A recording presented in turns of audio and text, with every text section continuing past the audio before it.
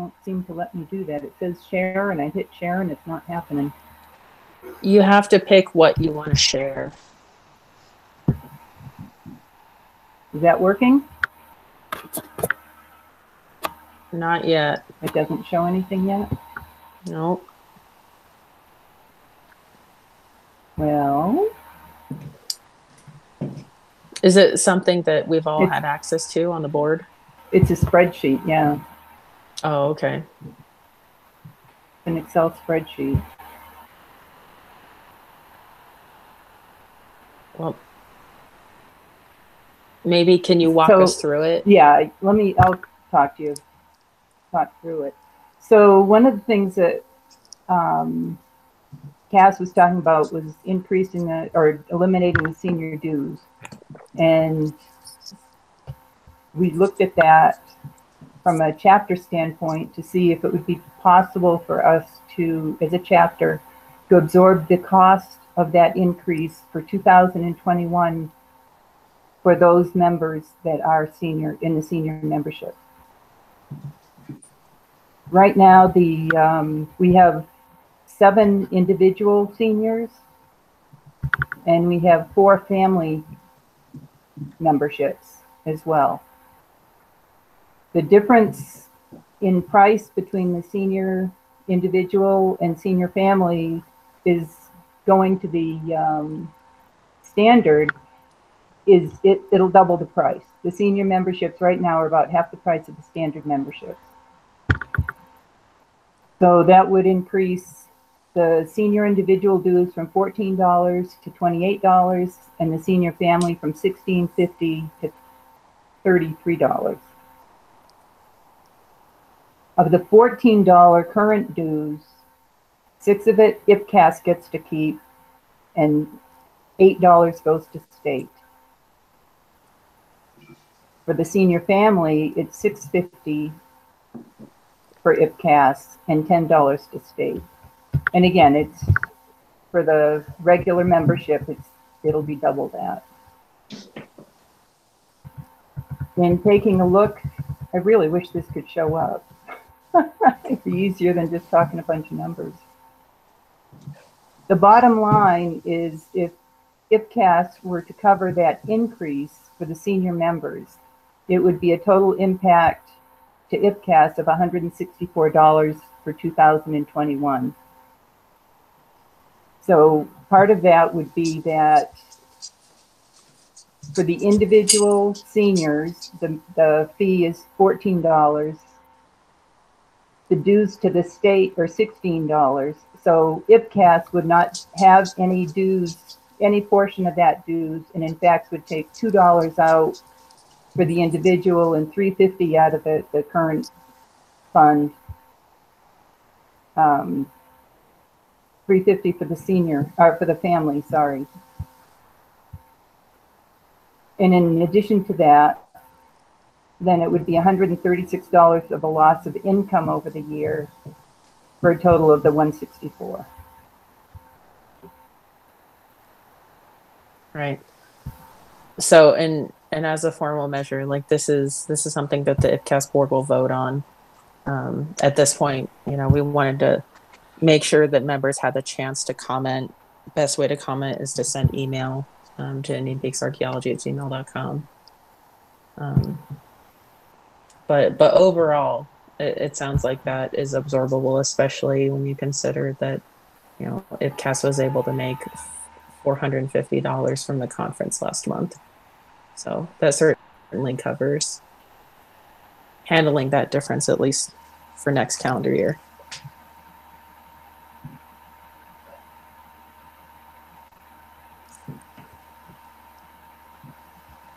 Um, was there anything else you wanted to share, Cheryl? Uh, no, that was it. The one thing, only thing I will say is that for uh, the pricing for both IPCAS and CAS, that the dues have not changed since about 2003 on the individual and the, the standard individual and the standard family. So it's, it's been a long time since the dues have increased.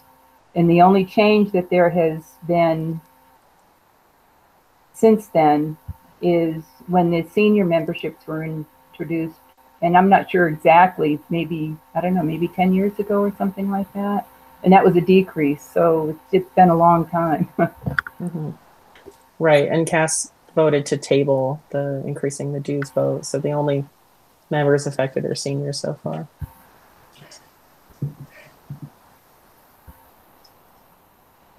Okay. Well, if y'all are members and have comments, please email them um, to us. Um, I think I'm going to keep going through the announcements so we can have Bonnie take it away. Thanks, Cheryl. Am I still sharing or not? I'm not, am I? Nope, but I am. Okay, At least I'm trying to. Oh, technical difficulties right after a move. Good times. Okay, so um, this month we have Dr. Bonnie Clark um, presenting um, material from her new book, and then next month we'll have Ryan Baker. Um, so stay tuned to IndianPeaksArchaeology.org for information on upcoming speakers, also social media, email, all that stuff.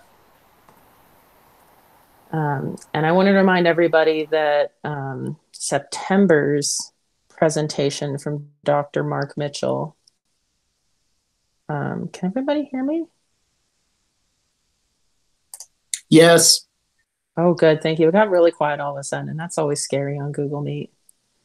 Um, but yeah, Dr. Mark Mitchell's presentation um, about Molander is up on our YouTube if, if folks want to watch it.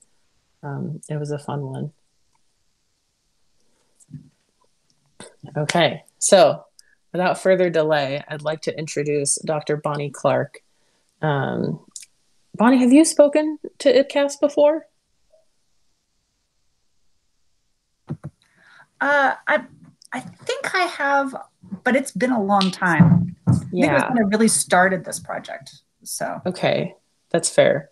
And I think it was probably before like your um, your DU students infiltrated Boulder.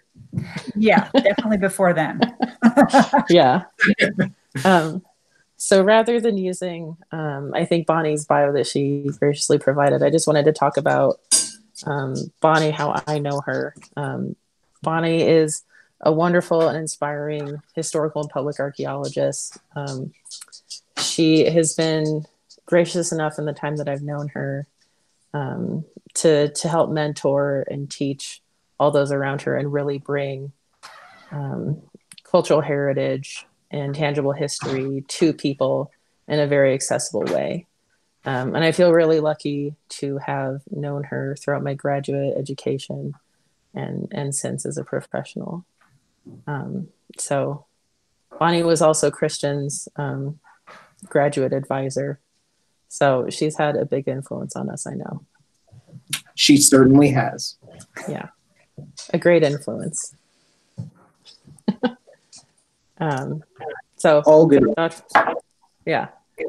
Without further ado, Bonnie, would you like to to take over the screen Sure. and start your Happy to do presentation? And by the way, Bonnie's book that she'll be talking about tonight is available. Is it still pre-sale or is it sale Still- sale? I thought it was It, it's still pre-sale, so I, I have Okay. a little a little blurb up there, so you can. It, it even has the discount code. I'm going to let you all in on the secret. perfect. And it is also on the IPCAS website Oh, if great. y'all are looking for it, and I'll repost and email it with the uh, the video link.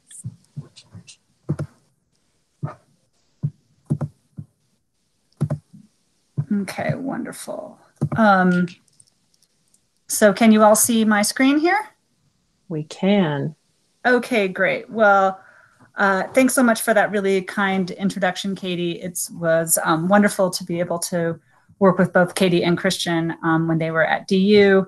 And I've continued that relationship. They've kindly um, worked with my students in some of my field methods courses. So it's been a, a really productive relationship. Um, and I thank you for inviting me to come talk about this work. Um, it's sort of you can file this under you know shameless self promotion in a sense but uh, it's also i um, just happy to be able to tell you about this really important colorado site at a time that's um, also kind of critical in its um, history as a heritage site uh, so I could talk about this for a really long time, and in the interest of not rambling on and on, I actually have this all printed out. So uh, forgive me for reading. Um, it will keep me pretty close to time. Um, beauty, hope, community. These are hardly the words that people associate with sites of incarceration. And yet, these are ideals that are reflected in the gardens built by Japanese Americans at all 10 of the internment camps in which they were held during World War II. The backstory to these gardens is one of the sad ironies of American history. The late 19th and earliest 20th century were characterized by both a fascination with Japanese design, especially as it was expressed in gardens, and a simultaneous mistrust of the Japanese people. Particularly in California, it became a status symbol for non Asians to have Japanese style gardens or to employ a Japanese gardener. And yet, many of these same residents likely supported restrictive legislation like the state's 1913 Alien Land Law, which prevented um, Asian immigrants who were classified uh, at the federal level as aliens ineligible for citizenship from owning land in California. The law was primarily aimed towards Japanese farmers who, since the 1880s, had been immigrating. Yes? Uh, sorry, it looks like the screen might be looking a little weird. Only part of your slide is showing. Oh, it looks fine on my end. Ugh, Okay. I don't quite know how to fix it. Um, Yeah, it, it's it's most of the slide though, so I think I think we're probably good. So Okay. Yeah, sorry. I yeah, know I sorry. don't, I'm not smart enough to how to know how to change the fix, fix the aspect or something like that. yeah, no, I think uh, that's If- probably fine. If you hit the if you hit the presenting button, it'll let you pick between what you're showing, whether you do your entire screen or a window. I'm I'm just doing this the one window. So Can you maximize it? um, let's see. Like usually if you double click the top pane of it, yeah. And then go into presenter view. Oh, there we go. Is that, looks better? better. Thank you. Yeah. Oh, okay. We can see the full title. Oh, yay. Okay. Um, Thank you, well, Bonnie. good. Well, now I will keep forwarding back, get back to where I was. Okay. Um, so the law was um, primarily aimed towards Japanese farmers who, since the 1880s, had been immigrating to California and other West Coast states. Some of these first generation or Issei came from farming families in Japan with skills in high yield farming from the Pacific Rim. But they were joined by others, often pushed into agriculture by anti Asian unionism and other professional restrictions. By 1840, 43% of West Coast Japanese were employed in agriculture and another 26 in agricultural related businesses like produce stands or nurseries. This was a population that had uh, literally put down their roots into American soil. However, Pearl Harbor would change all of that. In the wake of the attack on December uh, 1941 by the Japanese army, what had been a more general anti Asian sentiment really flared and focused on people of Japanese ancestry. In February of 1942, President Franklin Roosevelt signed Executive Order 9066, which allowed the US government to exclude anyone, including citizens, from an area of the US if it was deemed a military necessity. Although the executive order said nothing specifically about people of Japanese ancestry, it was clear they were going to be its target. The Department of War soon established the west coast of the US as an exclusion zone.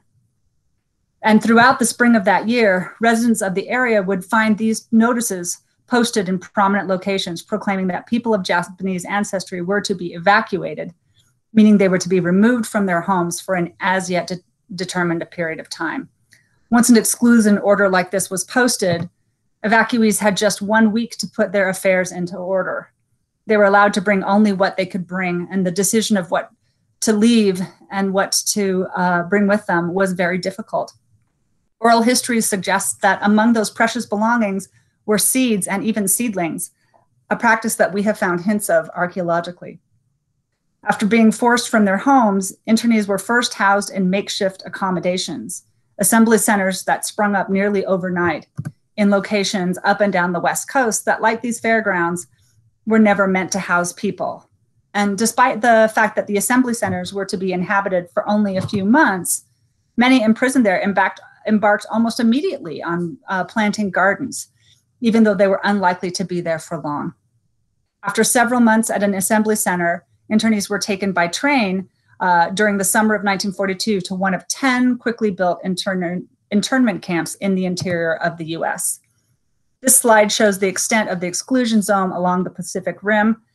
The Japanese American population of this area was about 120,000 people, two thirds of whom were born in the US and thus citizens. The map also shows the location of the 10 primary incarceration camps to which the population was sent. These were managed by a civilian agency, the War Relocation Authority, or WRA. The official name given by the WRA to the, to the Colorado camp was the Granada Relocation Center, which is named after the small town which is very near the camp. But it quickly came to be known by its postal designation, Amache. Amache is located in the central in the Arkansas River Valley. The central camp area was a square mile enclosed by barbed wire and guarded by armed military guards. Like all 10 of the camps, it was designed to be self sufficient so as not to tax a system that was already experiencing food shortages. So the entire project area, which you see on this map, included 10 square miles, mostly pre existing agricultural facilities, including irrigated fields and a working dairy and cattle ranch. These were worked by incarcerees, uh, like the gentleman you see in the upper right hand corner here, who were paid a very minimal salary, typically between 12 and $14 a month. The central camp area is located on a, on a sandy terrace above the valley floor. It's minimally productive land that since the 1870s had primarily been used for grazing cattle. Native vegetation are hardy plants like the yucca that's featured in this Amache silkscreen shop graphic. In fact, every one of the trees that you see in the site overview um, does not belong here. It was planted by an internee. The camp's semi arid and windy environment, which was often the bane of Amachians, ironically has served to protect the historic camp landscape after it closed and the buildings were dismantled in 1945. After the war, the land was not developed and the sandy native soil blew in and protected historic features and living surfaces. In recognition of its historic significance and its physical integrity, Amache is now a National Historic Landmark, which is the highest recognition of a historic site in the US.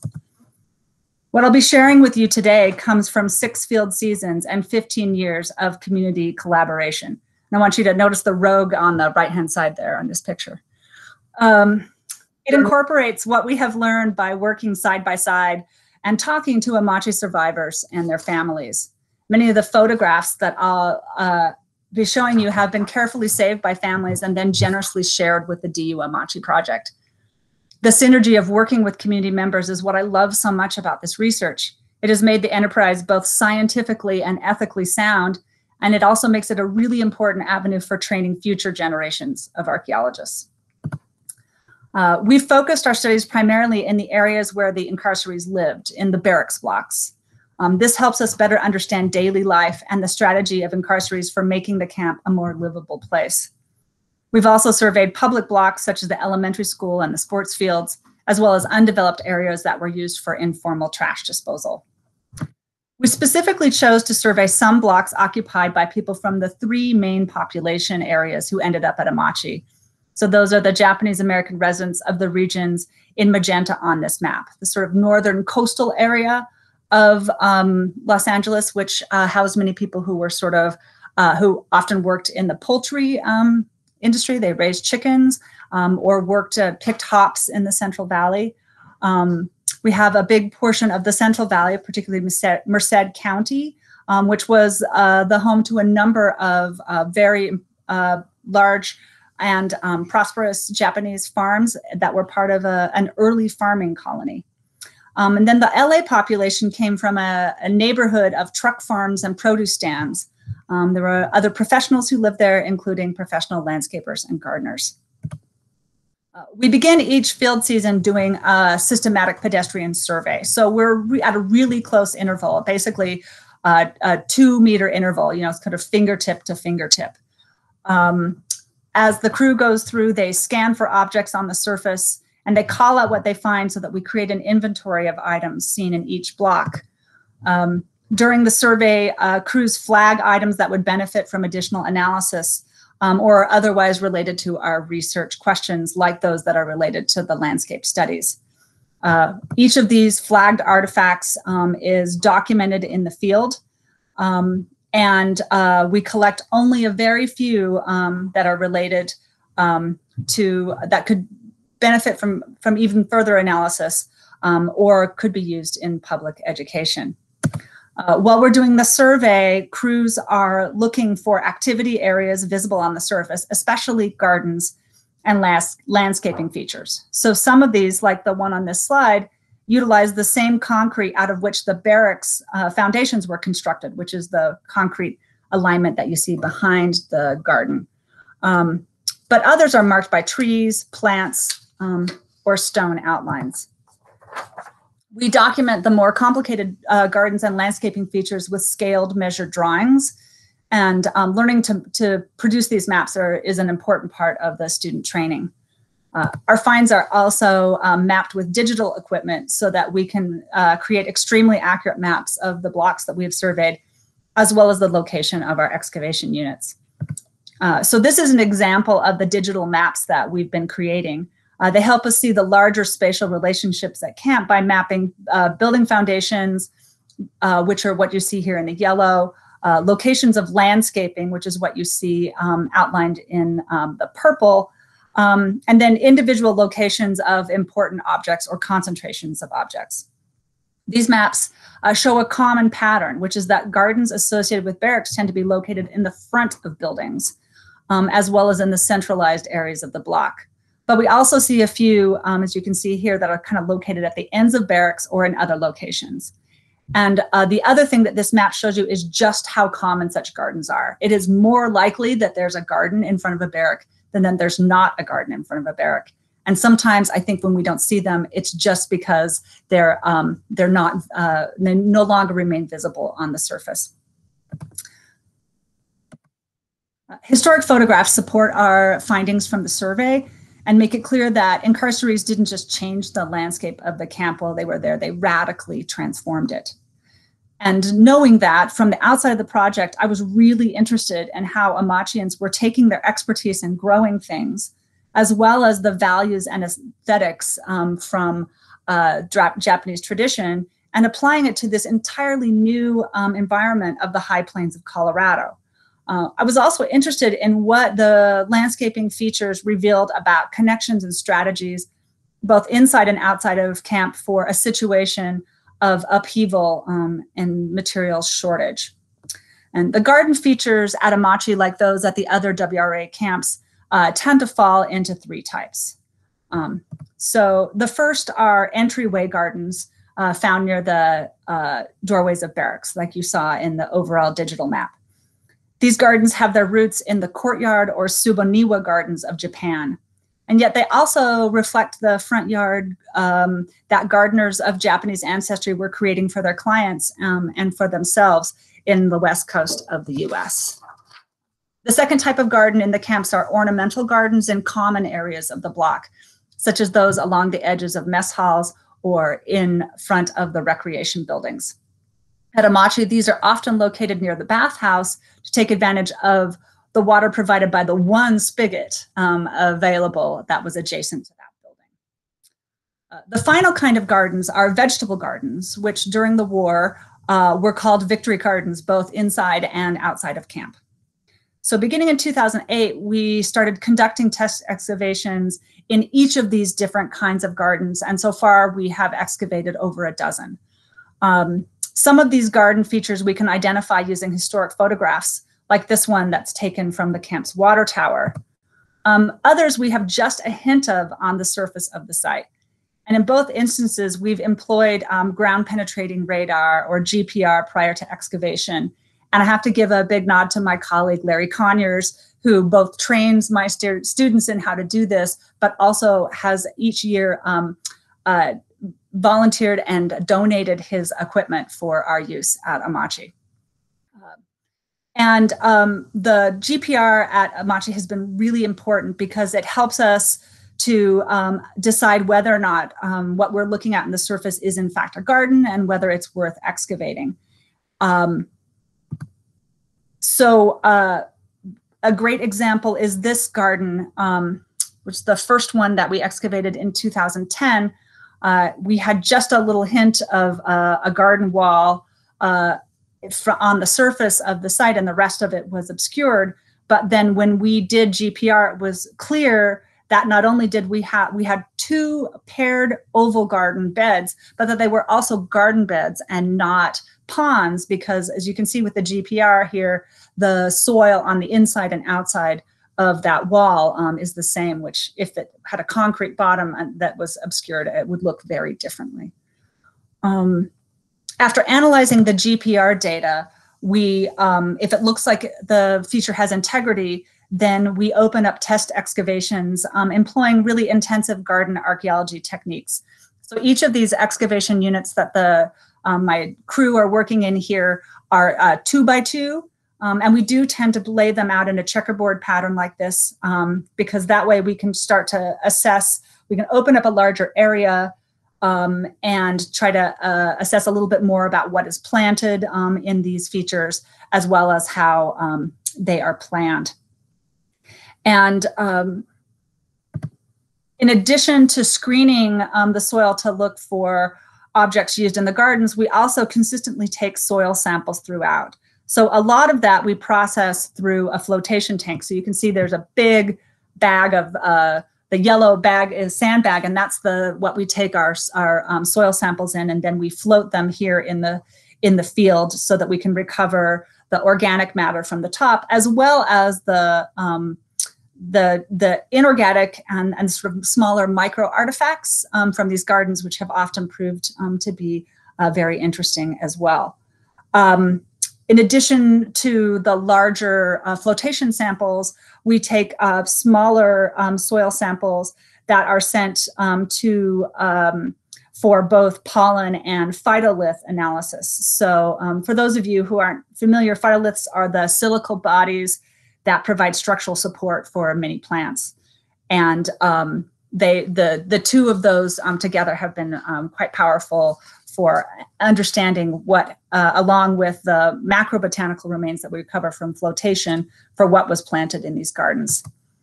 Um, the soils at Amache are classified by the Soil Conservation Service as overly drained sands, and they are low in organics and nutrients. So to assess if and how the incarcerees were amending the soil, which is a really important application of horticultural expertise, um, we instituted a program of soil chemistry sampling um, as well. And to answer our questions about soil chemistry, it's not enough to look in the gardens, but we also had to look um, offsite and out of garden settings. Take a we dug a bunch of control pits. Uh, our first excavation, um, as I said back in 2008, was in one of these two matching oval beds. Um, they're located in the public area in the center of Block 9L that you see on this map. And that block was one of the more remote areas of camp um, and home to a population almost entirely from Los Angeles.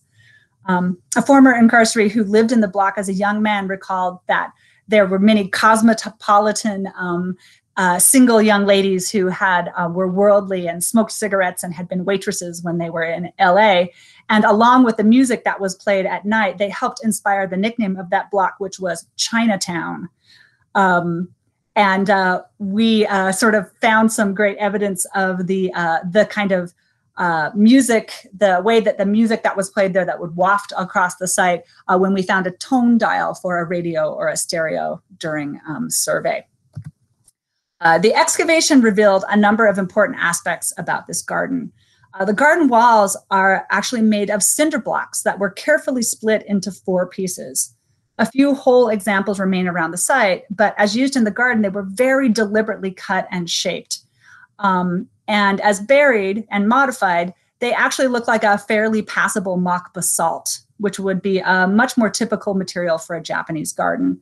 And this was one of our first chances to see the ingenuity of Amache's garden designers and how they transformed materials in the gardens. Uh, the layout of the garden, as revealed in the excavation, was also something of a surprise.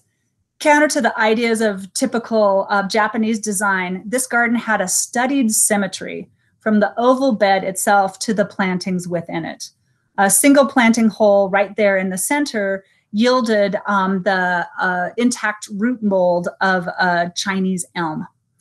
Uh, and a piece of valuable and likely surreptitiously obtained uh, copper wire because copper was uh, rationed during the war uh, was found uh, nearby and tied uh, and next to a stain in the soil from a decaying wood. So we found the wooden stake and the wire that was used to um, hold up that tree, which was um, something that in a in the very windy high plains would have helped to uh, promote the the um, the health and well-being of this um, Chinese elm. We also found a hook of the kind that you could use to hang lanterns um, in a in a tree like that. Uh, as we were excavating, a shockingly red uh, nail polish vial was uncovered during the excavations, and all I could think of was those um, worldly women that a teenager recalled uh, sharing his block with, sitting in there painting their nails. Um, a, a, small coal fire pit was revealed immediately outside the planting bed, and sake jug fragments, officially prohibited, still littered the surface near the garden. Each piece adds to a visceral impression of a small place where a kind of conviviality could be had in the midst of institutional confinement. Uh, the botanical remains recovered from the oval garden indicate it likely had a deliberately planted ground cover of wild purslane. Um, purslane seeds um, occurred only in the planting hole fill and the lower fills within the planting bed itself. Um, while purslane is not especially associated with Japanese gardening traditions, um, it is a drought tolerant and moderately attractive ground cover. Uh, after the excavations were complete, we met a man who not only recalled the 9L Oval Gardens, he sent us these family pictures taken in front of the garden. These document the visit of two servicemen on leave after basic training, and they also show the tree that we excavated. um, these uh, men were uh, back visiting their family at Amache before uh, being shipped out to fight in Europe. And these Amachians chose to capture this important moment of their family's history in front of a garden, an element that masked the official camp landscape. And Anna Tamura, a landscape architect for the National Park Service, has noted that this is practice is common in photos from other camps as well. And it recalls what Jeanne Wakatsuki Houston wrote about the Manzanar Gardens, that when you were in them and facing away from the barracks, quote, you could for a while not be a prisoner at all, unquote. Uh, one of the most important ways that the DU Amache project assists in the management of the site is by investigating areas that will um, be impacted by planned um, site developments. Uh, so we're, we help them uh, do their Section 106 um, compliance um, at the site. Uh, this photograph uh, below was taken from, again, another one from the camp's water tower, um, which was due to be rebuilt and returned. And because of the photos from that, we knew that there were going to be these gardens nearby and that as workers were going to be coming in with all of this heavy equipment that we wanted to be able to protect that garden so we needed to know exactly where it was um, on the ground um, so again we use gpr to identify this garden which is a little bit trickier than when you're doing gpr with hardscaping like rock when all we have is a light um, wood and wire fence but by God, if we did not find this beautiful point source reflection, um, and also kudos to my crew who are more than happy. Well, they're they're not more than happy, but we trim down all of the vegetation so that we can um, get a really good um, connection uh, and that we're not uh, getting a bunch of interference. Uh, we also run these um, GPR antenna at a very close interval so that we can pick up these um, often uh, pretty uh, um, ephemeral sig signatures in, in this case, um, in the GPR profile. Uh, so when we opened this area up for test excavations, we were super pleased to find this alignment of wire and wood that is the remnants of the fence that once um, uh, ran around this uh, garden.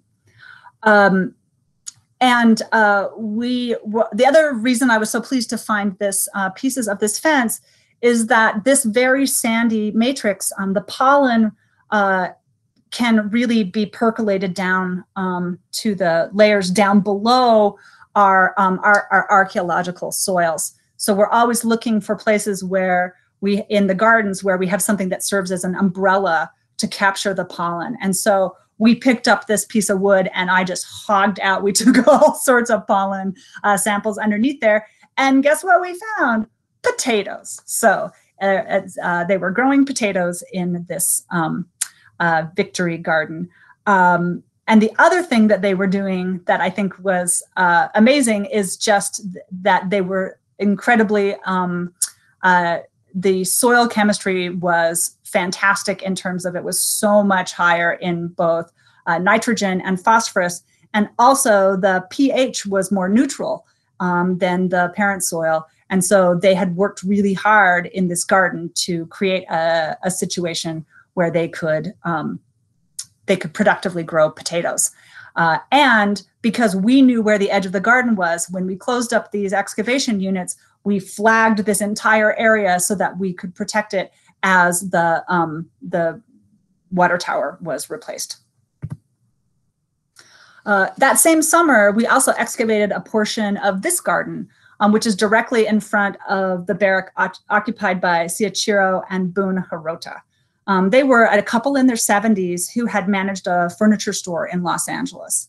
And as we dug, it became clear that the soil in this garden was amended throughout with the judicious use of crumbled eggshell. Uh, a former incarceree who visited, visited us that summer recalled that eggshell, tea leaves, coffee grounds, these were all highly priced soil amendments. But she pointed out, and something I hadn't really thought about, is that not everyone has access to them. You have to know somebody who, or be somebody who works in the mess halls. Um, another source for the eggshell could have been the chicken raising uh, facilities at the ra- uh, ranch um, associated with the camp. Um, they would also have had access. Uh, if you have a- access to chickens, you have access to, to eggshells. Um, the Hirota garden also employed broken water pipes, which is what you see here. And that's like the collar of a of an earthenware um, a stoneware uh, water pipe, and it's ingeniously sort of placed upright um, with the collar sunk into the ground, um, and it and it use, looks pretty much like a planter. Um, uh, because they were certainly broken before the gardeners got a hold of them, they likely reflect another connection. This one to someone who had access to the camp's trash, um, like those who worked for the sanitation division. Um, and it's unlikely that the 70 uh, year old couple who we found here worked either in the mess hall or uh, for the sanit, uh, we're taking the trash out. And so one of the things it shows us is the networks that gardeners employed um, to be able to have the things that they needed to um, to make their gardens. Uh, one of the many surprises revealed by the gardens of Amache are about the relationship of incarcerees to the larger physical and social environment. Um, they made great use of materials that were available near but beyond the barbed wire perimeter of the camp. So lots of gar- gardens include river cobble and gravel from the Arkansas River, which was next to the some of the fields, but but from the camp itself is, is about three miles away. Um, but we also find transplanted wild species like this cholla in this entryway garden. And uh, when I was mapping this uh, this garden, a local rancher came up and he pointed at that cholla and he said, "That doesn't belong here." And I was like, "Yes, that is my thought precisely." And you know, if anybody knows which uh, which cacti belong or don't belong, it's ranchers. So um, it's uh, I don't know how far away they would have had to go, but he, he assured me it, it would have been a ways.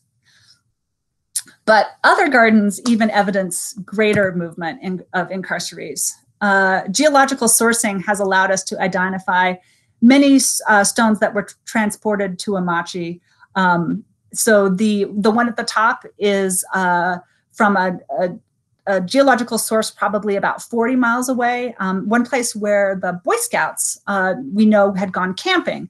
So uh, this may have been uh, from a foray there. And the low the um, quartz on the lower um, edge is actually of the because it's not uh, softened at all the it hasn't been rolled or transported this has probably been picked up um, from the foothills uh, of the rockies. Uh, and these I, I love because they help us remember that the camp is more porous and that people are allowed to get out on work permits and to do things like camp with the boy scouts. Or uh, we know that there was a some of the um, christian uh, kids at Amache went to uh, Bible camp in the foothills of the Rockies, and that may be where um, this uh, quartz uh, came from. Uh, one of our other exciting uh, findings, and one that we got from two different gardens.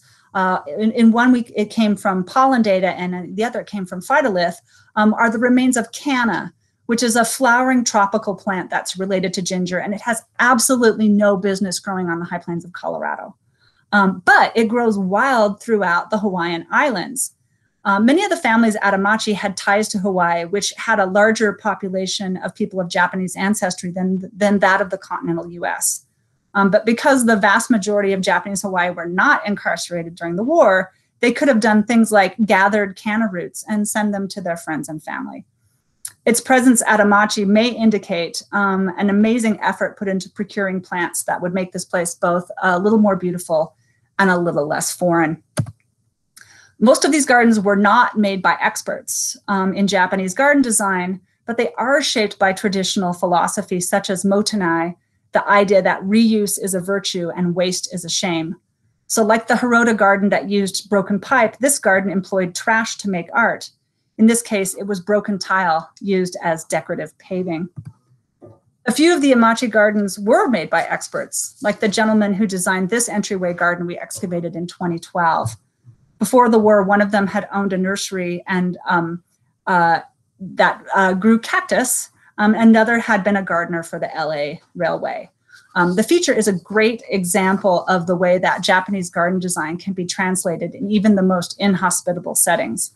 Um, this appears to be an innovative example of a centuries old Japanese gardening technique of ikedori, or capturing alive.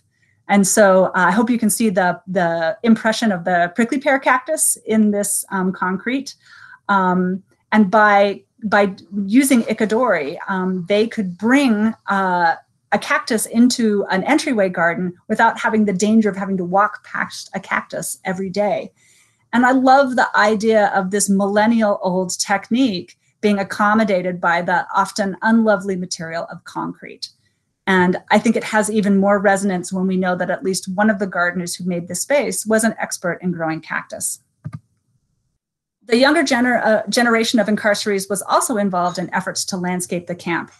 After controversy over the cost of a specialty built Amache High School, the WRA abandoned plans to build an elementary school. Instead, a regular barracks block was pressed into service for the youngest students in the camp. An article published by the school administrators indicated that the students themselves initiated the program of widespread landscaping at the school. This effort was cast in published accounts as a reflection of the American ideals promoted by the WRA education program. And certainly the overall landscaping scene that resulted would have um, been reassuring um, to Western uh, administrators. Uh, our intensive survey of the block suggests a, very, a real similarity in the size, placement, and the boundary hardscaping of all the individual beds that used this um, uh, limestone that you see edging these beds here that these little girls are scratching soil into. Um, but the excavations um, of a pair of blanks, a bed that flank one classroom, uh, tells us a different story. So uh, these, uh, the designs for each of these rooms for each of these gardens was presented by the students themselves. They were voted on by uh, judges, and then um, students were able to put into place um, their designs. And um, these beds are that, that we two that we uh, excavated on either side of a doorway um, were approximately the same size. They both had limestone outlines, but one was landscaped consistently um, with gravel from the banks of the Arkansas River, and then one that ne was next to it had no gravel at all. Um, one of them we, we recovered ornamental morning glory seeds from, um, but none from the other.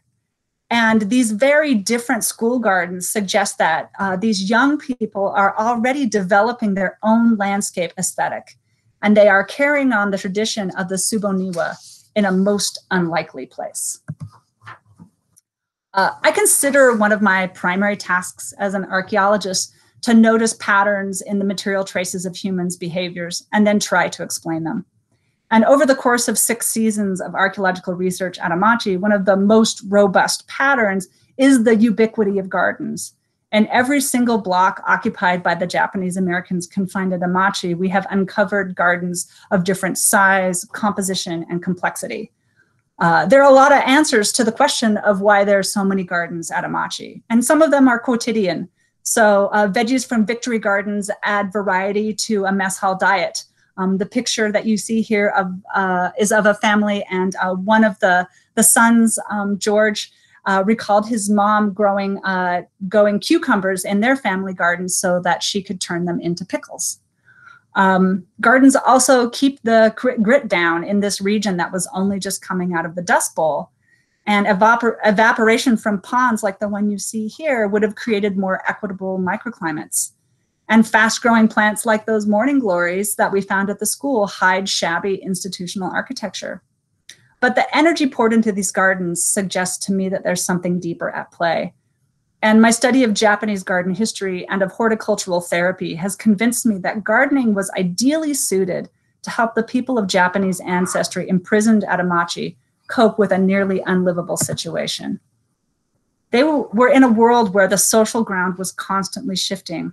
One day they were high school students or farmers or optometrists, and the next they were prisoners with no idea when or if they might be released. Those who were immigrants were people uh, without a country while their children were citizens of a country that had turned its back on them. But they had skills honed over generations to bring harmony to at least one little part of their world, their gardens. And in 2012, we excavated what turned out to be a stunning Japanese style entryway garden. One of the reasons that I chose to further investigate this was this primary feature uh, right here, this garden wall that evokes stone, um, but is in fact um, made of concrete slabs and it is a skillful evocation of a miniaturized um, mountain range, but it's also cited in an especially interesting manner. Um, the designers created mindfulness by placing the, do the door not to one side or the other, but right in front of the barrack wall. Uh, excuse me, the barrack doorway. And then when we removed this, uh, this blown in sand, we discovered this beautiful cedar walkway that led directly from the doorway to the wall. And from there, there were stepping stones that um, suggested pathways to either side. And each time the residents served by this doorway transitioned between the world outside and the world inside their barrack, they would have had to slow down to be aware and present for at least that moment. And that is the kind of mindfulness that is often one of the goals of traditional Japanese garden design. Another element of harmony created by the Amache gardeners is the kind of deep balance that we've discovered through our study of soil chemistry. Um, we found all sorts of interesting amendments, not just eggshell, but also marine shell, fish bones and scales, and even pieces of iron slag from the blacksmith shop. And in almost every single garden feature that we have so far analyzed, the soil retains more nutrients that support plant life than the soil from control pits in non-garden areas or outside the site. And considering the rapidity with which nutrients are washed from this sandy matrix and the short duration of the camp's occupation, only three years, this imprint is nothing short of amazing. There remains 70 years later, later a legacy of care for the land by a people who were forced to inhabit it to really grapple with the Amache gardens or with any garden, we must not think just about the art, but the act. The physicality of creating and maintaining a garden is another of its virtues. The daily chores of watering and seasonal efforts like picking up fallen leaves or harvesting vegetables uh, or covering them so they don't frost with your early frost. Um, these are all acts that keep a garden in harmony, but they also keep the people engaging them in harmony. Um, physiological studies have shown time and time again that engaging with plants uh, reduces heart rate and cortisol levels. And in that way, science and Japanese garden philosophy, as expressed by this quote from the very first designer of a Zen garden temple, converged in what to me is a really interesting way. In taking care of their gardens, Amachians not only took care of themselves, they took care of each other. And when faced with uncertainty, they put their, help, their hope in each other and in nature.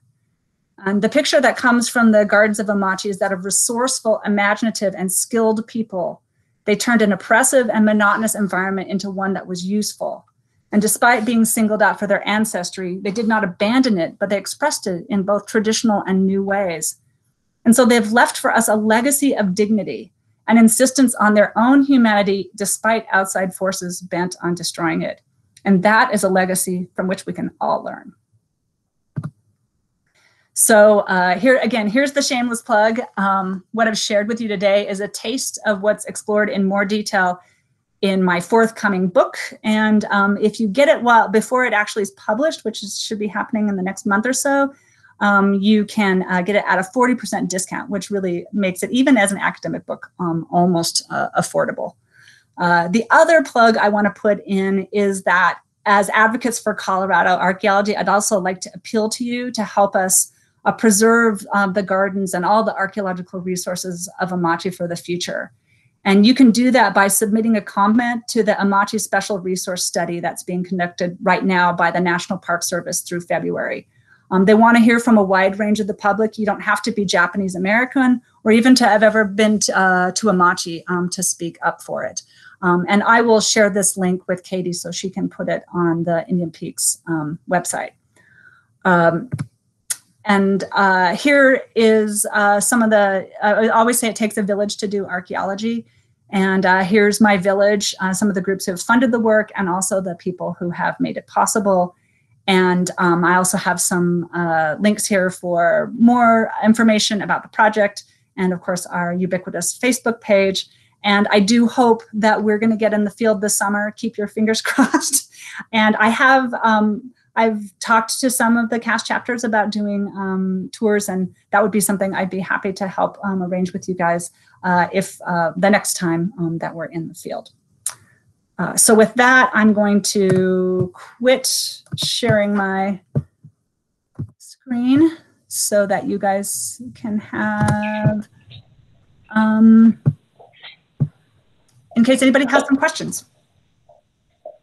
Actually, Bonnie, if you want to keep that screen with the links open or the book links, that might give people time to to find them. Oh, sure. Oh, well, then I better open it back up. Give me just a second. um, maybe somebody can ask a question while I'm doing that. Yeah, so usually we have folks enter questions into the chat box, but y'all are welcome to just ask your question to Bonnie.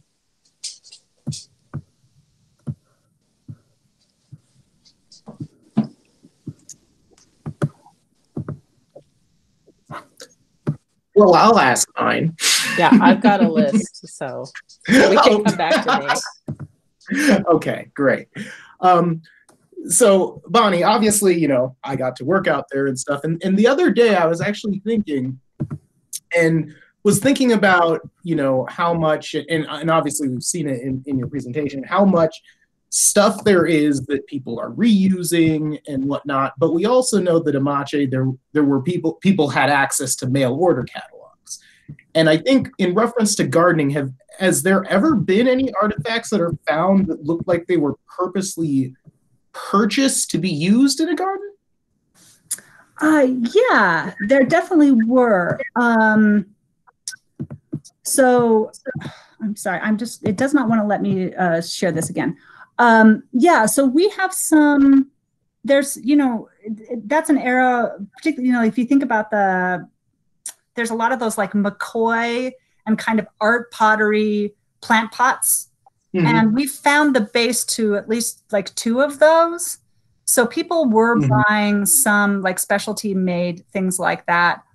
And then um, there is some oral history about the fact that um, gosh, my screen does not want to do the right thing. Um, that there was uh, that people are ordering seeds from seeds themselves from catalogs. So they're ordering seeds from Sears Roebuck. Um, I right, yeah. like the the garden that mm-hmm. was over by Amache Town Hall. Mm-hmm. Well, cool. All right, Katie, now you go. I don't want to hog. So, Katie. Um, if anybody else wants to jump in first, that's fine. And I'm just going to apologize. I, it does not want to let me present my screen again. So um, I, I, can send you those links and sure. you can share them later. Yeah, that's fine. Um, okay, well, I'll start. So there seems to me to be like multiple purposes for these gardens. Do you think after looking at or evaluating the the side of Amache that it's more about like victory, victory gardens and food production or more about like mindfulness and the practice of gardening? Or or what proportion like what have you seen in those in those breakdowns well it seems like um, it's probably more common for there to be ornamental gardens than vegetable gardens. That said, there also appears to be gardens that are doing both. So, like, um, I love the first time we found canna was actually in a vegetable, in what was a victory garden. Um, so they're probably growing, you know, ornamental plants in among um, the edible ones, and um, and there's also, you know, um, in terms of thinking about just like wellness, uh, just just having shade. So one of the things that we areas that we've excavated is um, we found evidence of a of an extensive tree line that was on the south side of a building and it's interesting because it's like the public space in this block and the area that would have been really visible to everybody else would have been on the north side of this building, but that's not where we found the trees. We found them on the south side. And so that way the trees were shading that building. And it turns out that building was a preschool. So you've got these little tots in these buildings that are not very well insulated. And so by um, by having those trees in there, they were making it a lot more pleasant for those kids.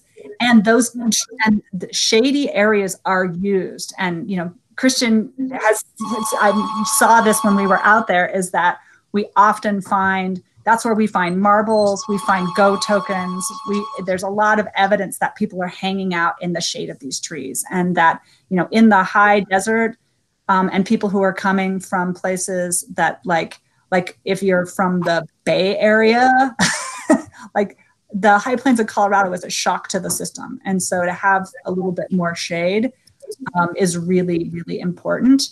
Um, and so, but I, I, think it's just, I think it's really hard to separate all that stuff out. Um, I think that um, it's it's probably all kind of rolled together for people. I mean, the other thing that it's doing is it's helping them pass the time in a way that's a little um, that is you know connects them to nature's cycle. And I, I, kind of been inspired in thinking about that by work that's been done on prison gardens.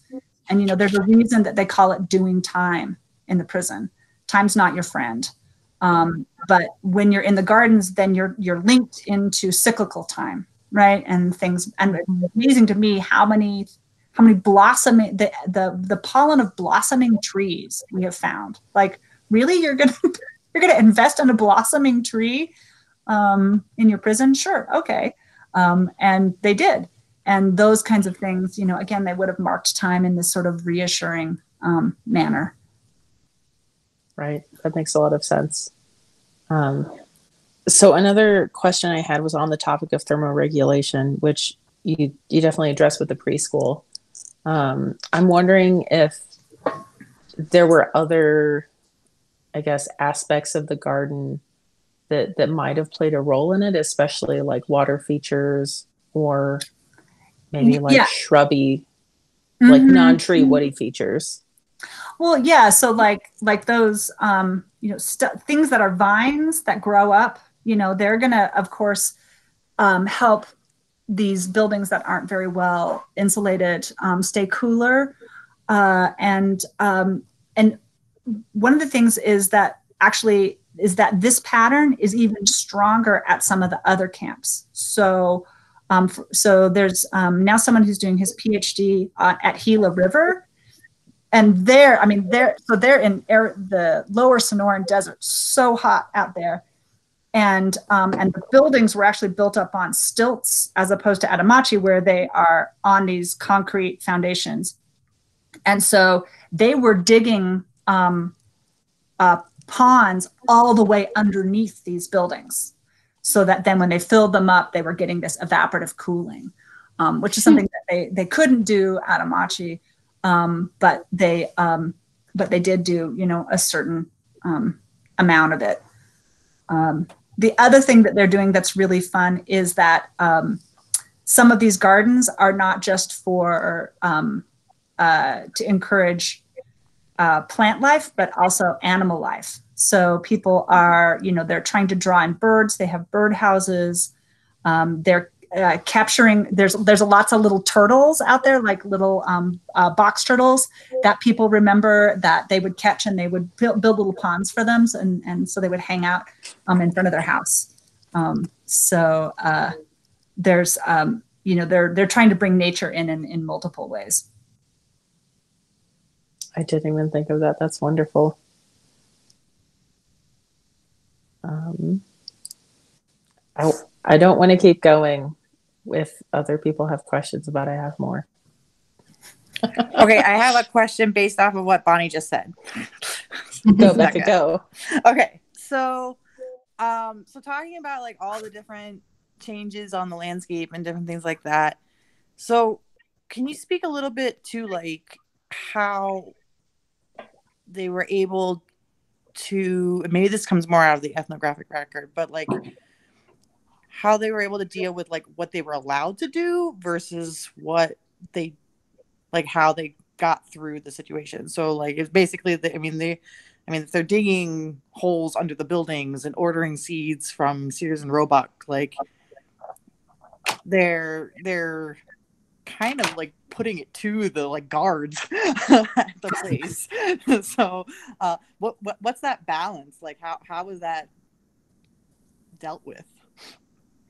Well, it's interesting because the the gardening, for the most part, is kind of encouraged by, um, or at least not actively discouraged by administrators. Um, they are sometimes concerned about how much water gets used, and so there's sometimes kind of fights about mm-hmm. that.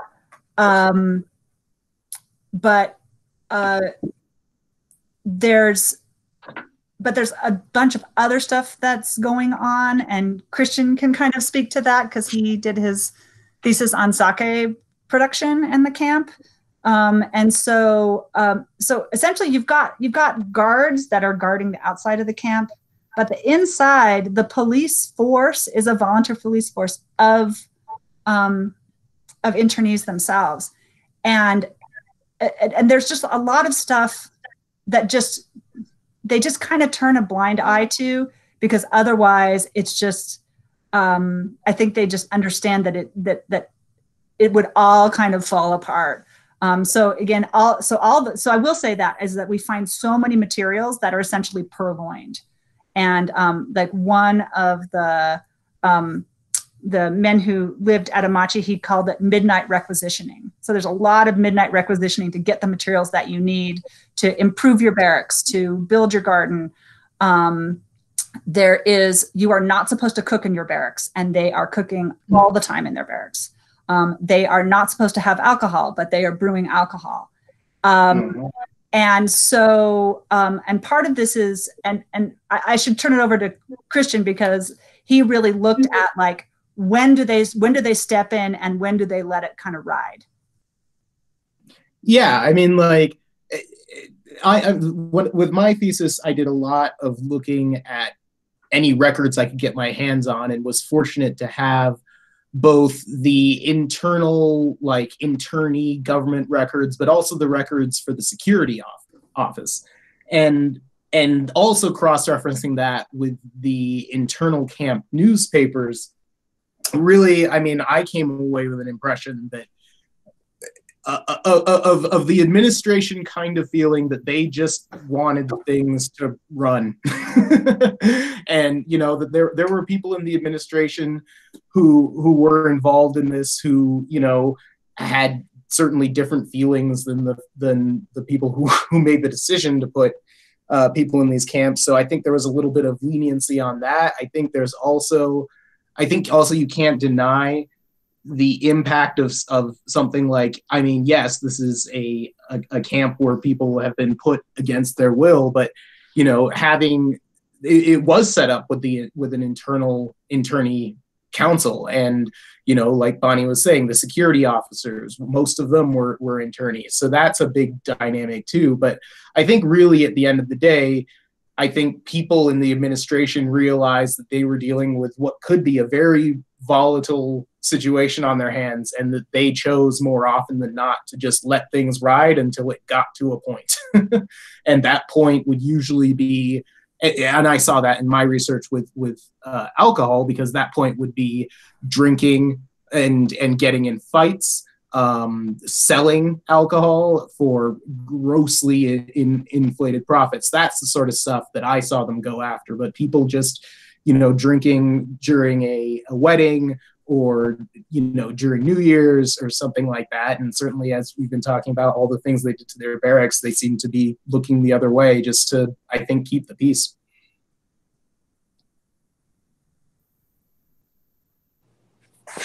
Thank you.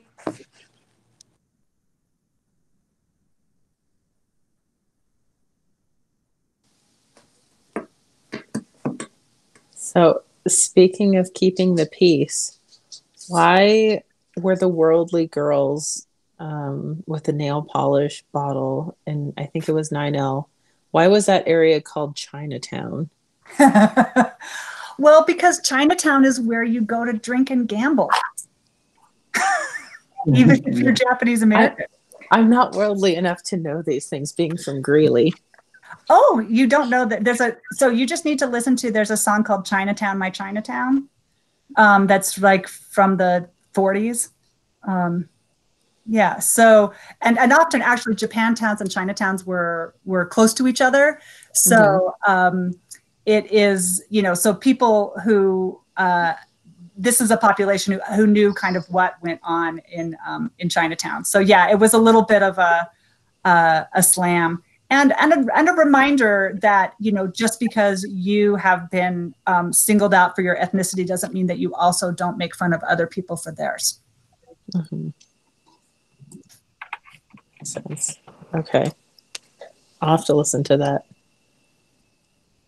So, did you find any anything to point towards like you know a a plant market um, trading like rock trading like especially with that quartz from the foothills. Like there's got to be some kind of market going on. You know I, I, certainly didn't see anything like that. And I, it's kind of like with christian like you know if you are making sake and then you're sharing it that's fine. But if you're sort of like extorting your neighbors then it's not okay.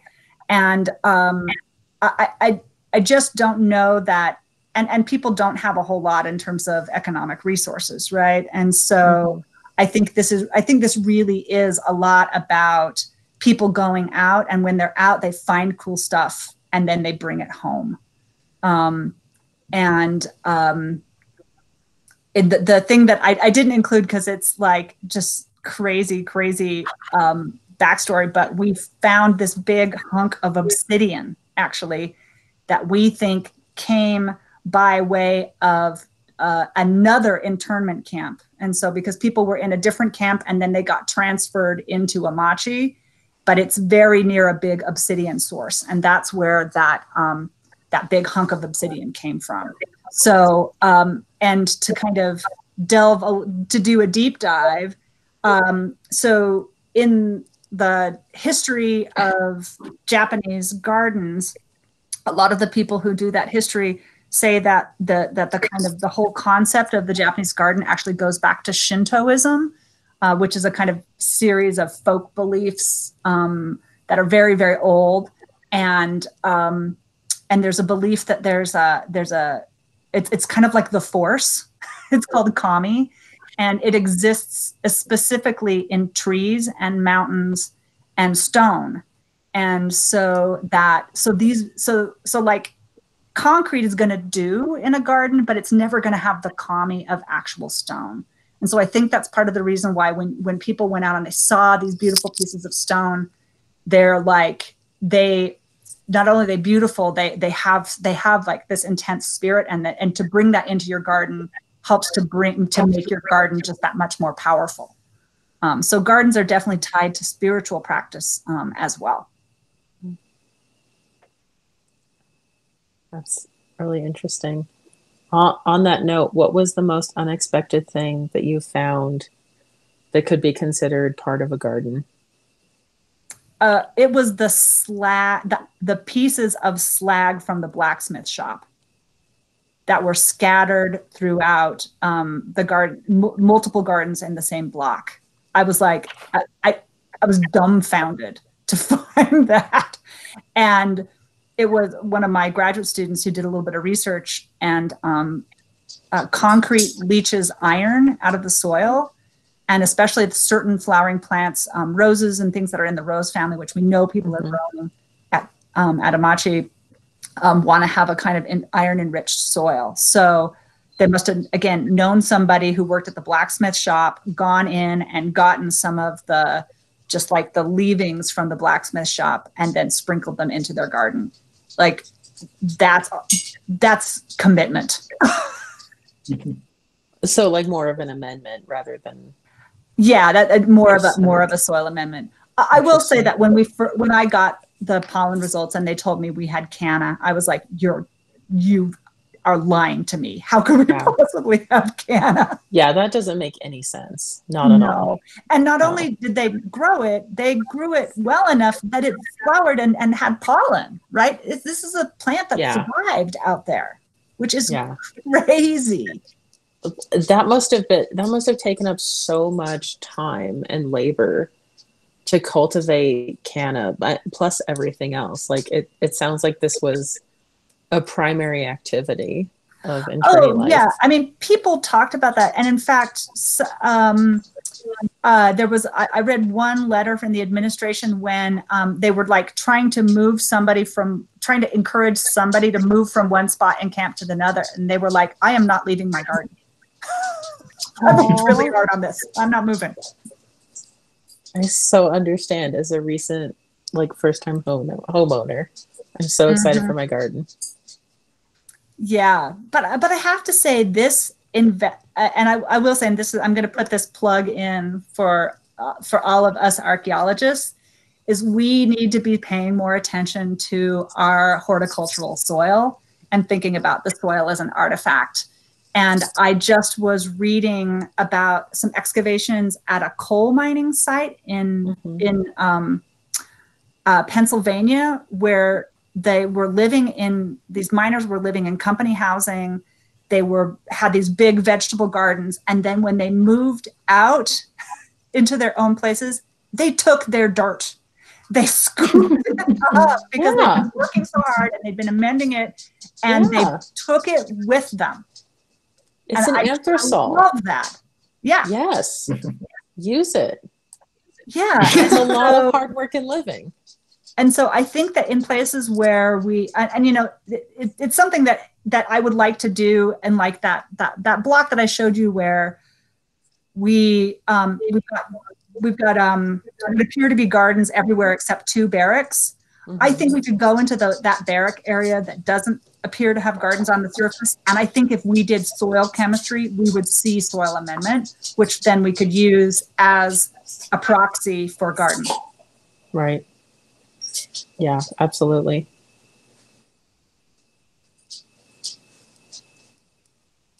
Oh man, there's so much more fun work to do with this. Oh yeah, there is. Um, like I said, I I I could talk about it all night. So I hope I hope I didn't go too long. I didn't actually time myself. I should have because this is this is like I'm working on my job talk. So if any of not my job talk, I have a job. I'm working on my book talk. um, so if any of you have suggestions for the book talk, uh, things that I left out, or did it go too long or too short? Uh, Bonnie, this is Becca. Um, I don't have another question at the moment, but I'm sure if I rattled my brain, I could. But uh, I just wanted to say, you know, this is one of the like premier archaeology projects, especially from like a like community and educational base. Like feel like it's just impacted so many people and i wanted to thank you for that because like it I didn't know much about the project before I was an intern at History Colorado and like gave tours to people at um, at the museum. But you know, since having to teach people about the the site, or specifically fourth graders about the site, I mean, so many great grad students have come out of it. So many great connections. Your pro- programs and presentations always include these amazing uh, stories of the descendants and the students working together that I just it's just so great. And so I wanted to make sure you heard that in a voice and didn't just see it in a little chat box. Um, and I really do hope that you continue this amazing work. Um, and I hope that uh, it just it just keeps on going. I had to laugh, um, and then, and then I'll shut up. But when I did my first members night at History Colorado in my new position, I'm sitting there with Todd. We're talking about archaeology randomly, and a woman walks in wanting to know where the Amache exhibit is. And I explained to her where it was and all. that. She goes, she goes, "Well, I've been a member for many years, and my daughter-in-law is a is a is an archaeologist, and I figured I should probably go." And I was like, "Oh, sure, okay." And she goes, "She was an inter- uh, internee at a camp, and I forget which one in California." And so she like had this weird connection through Jeannie. It was Jeannie Mobley Tanaka's Oh, okay.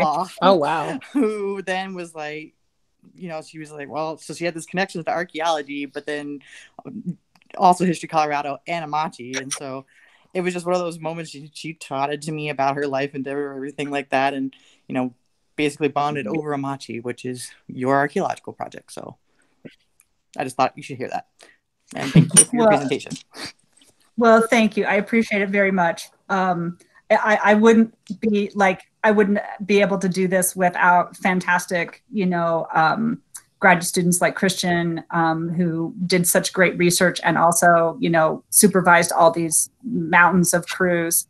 Um, but yeah, it's a it's a great project. I just I feel so lucky to be able to do it and to work with such gracious folks.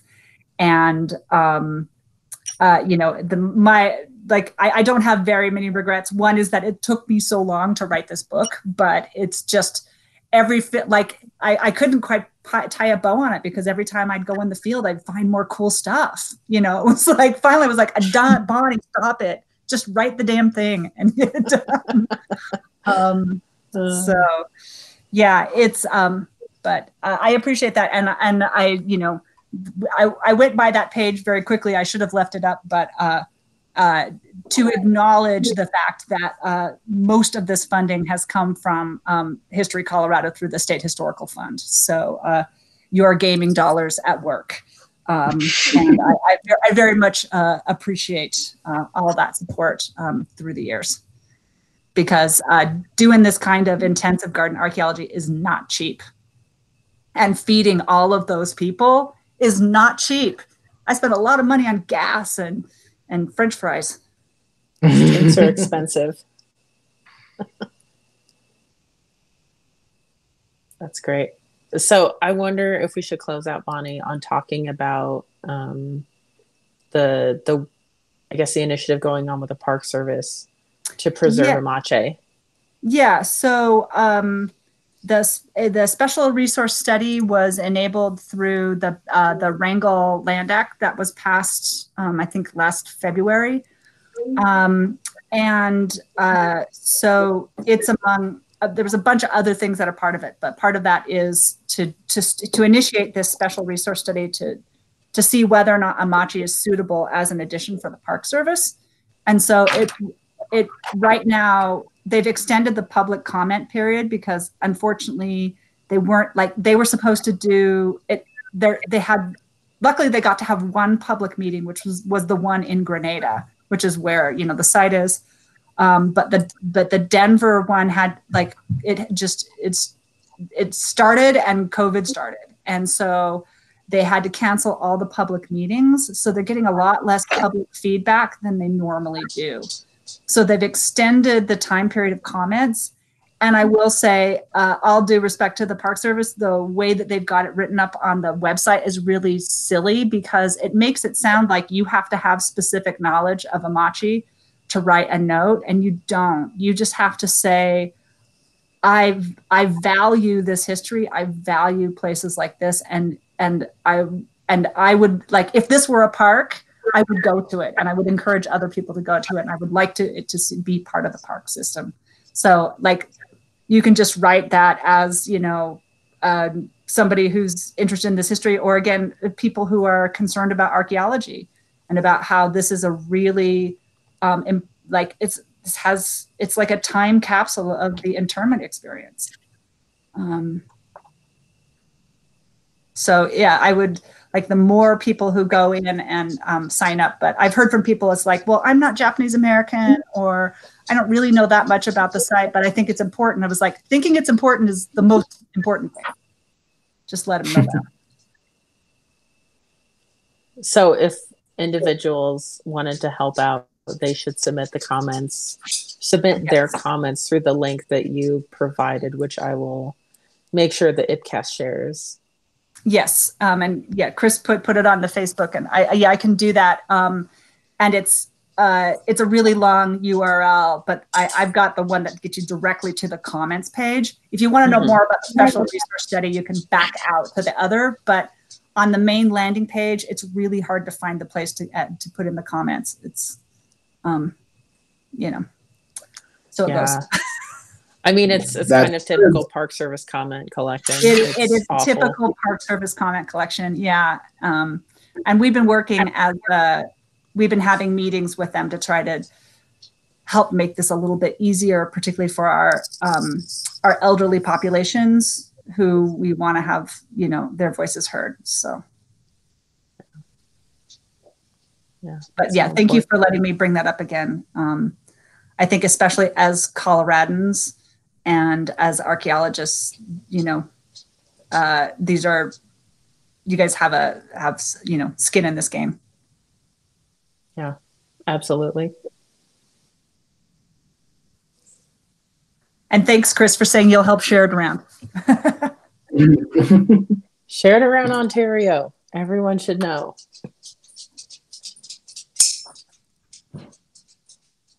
Okay. Well, thank you so much, Bonnie. This was a lot of fun. Well, thank you. I appreciate the opportunity, and um, uh, I look forward to uh, hearing back from people if, once they had a chance to read the book. Okay, one final question. Yes. Will you sign the book when it's safe to like, you know, pass you the book? Uh, absolutely. Awesome. Okay. You know, I'm teaching classes in person, you know, so I'm living life on the edge. So, you know, Dangerous. I would meet you out for a beer and sign your book. Oh my god, I so want to leave the house. I'm dying. okay. Well, on that note, we'll connect after. Okay, sounds great. Cool. All right. Well, thank you so much, everyone. We'll have thank you. Shared on social media shortly. Thank you so much, Bonnie. Thanks, Thanks, Chris. Bonnie. All right. Have a good night, everyone. I'm going to go eat dinner now. It's it's time. It is time. All right. Tell Kathy hi for me. Okay, I will. Thanks so much. See ya. Bye.